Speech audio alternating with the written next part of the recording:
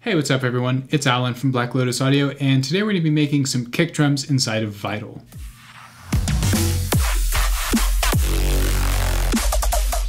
So inside of Ableton here, I've got Vital set up on a MIDI track, and I've also got an audio track underneath for some resampling. Um, to set this resampling up, all you have to do is take the output of the Vital channel and route it into the input of this channel, or basically just click this box and select the one that says Vital, or whatever you're routing audio from. And then be sure to arm that so that when we record, you can get a nice visual representation of your kick drum. Now, I've got a MIDI clip here playing a random note for a bar. It doesn't matter what note this is, um, because as we move into Vital, what we're going to do after initializing our preset, we're going to head into the Advanced tab and we're going to turn off note tracking. Now, with note tracking on, as we change the note that we play on the piano roll, the pitch will change, right? But if we turn note tracking off, it just plays the same pitch. And so we're going to use that today. Now let's go ahead and change to our basic shapes and we'll use a sine, which is just all the way down on the wavetable position. And then we're going to start dialing in the pitch of our kick drum. And this is going to be the fundamental pitch, like the low bassy note of the kick drum. And we can use an EQ to help us fine tune this. All we have to do is play the note and we see we have a spike around 129. So if we start dropping the transposition of this, um, let's go negative 10 maybe, we can hear and kind of see that we're closer to a kick drum's range. Right now we're at about 75 hertz. So I know from experience that I typically like this around negative 16 and that'll get us about negative 50 uh, hertz. And I think that sounds pretty good. So I'm gonna disable the EQ now and we're gonna start um, actually creating our kick drum. All right, so the first thing we're gonna wanna do is set our phase up. Now, this phase randomization knob will cause some intermittent clicking on the start of our waveform. So if I just play this a few times,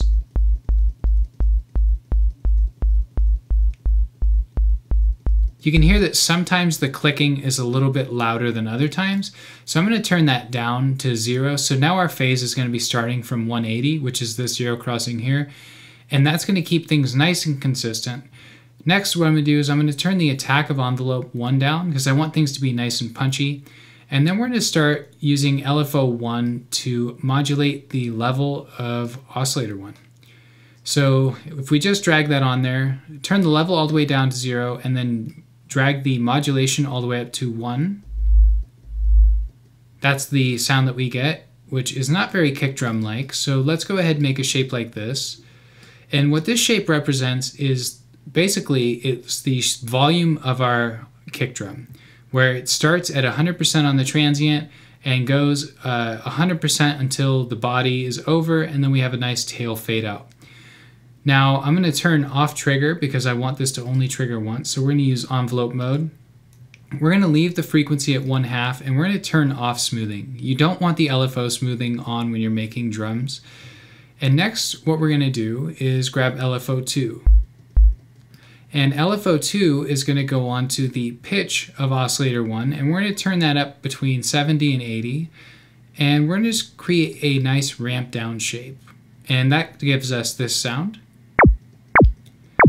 which is a bit laser-like. So the first thing we're going to do is turn on envelope mode, and then we're going to turn off smoothing. And I'm going to slowly roll up through the frequencies, making it faster and faster and we're going to hear where our transient sounds best. So this is one half again, then a quarter, now an eighth, one sixteenth, and one thirty second. Now I think it sounds best right around one sixteenth. That sounds pretty kick drum like to me.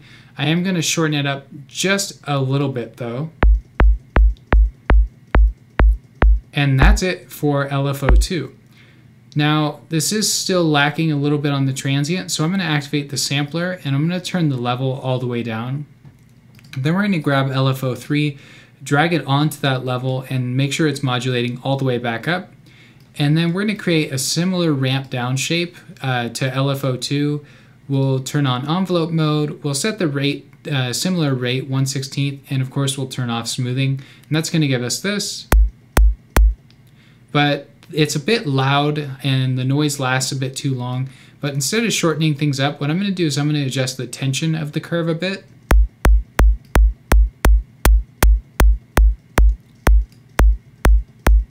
I think that sounds pretty nice.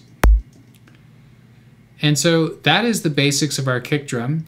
And I'm going to go ahead and resample that out.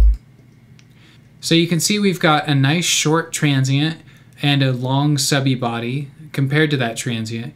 And I think that looks pretty good. So I think we're ready to start post-processing this guy.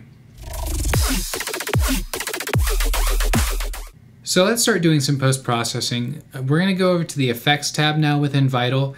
And the first thing I'm going to add is some distortion. And I like the hard clipper for kick drums. And I'm just going to turn up the drive maybe three quarters of a decibel. So maybe 0.75 dB. And we'll give that a listen.